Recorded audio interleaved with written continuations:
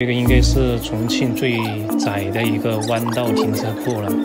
我从下面开到上面来，花了一分五十五秒。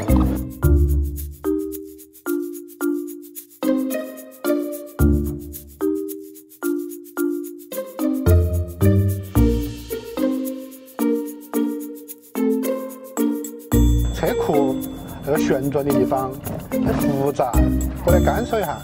而且我看有的图片呢，说那个车子都转晕翻了。Ready go！